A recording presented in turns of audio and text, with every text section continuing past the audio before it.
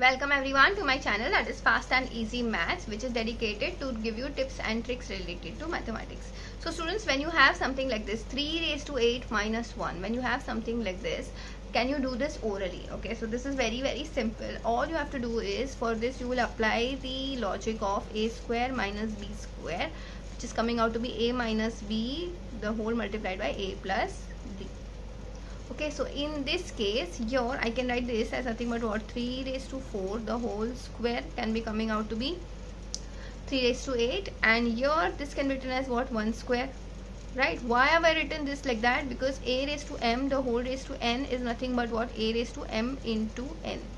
So this eventually comes out to be 3 raised to 4 into 2 that gets you 3 raised to 8 so now here this now comes out to be what? 3 raised to 4 minus 1 and 3 raised to 4 plus 1. So now 3 raised to 4 minus 1 is what? 81 minus 1 and this is 81 plus 1. So this comes out to be 80 into 82 that comes out to be 0 and uh, 16 1 carry so 6560 that is your answer do like for many such videos and for your DIY I want you to do 3 raised to 6 minus 1 in the comment section. Let me know your answers.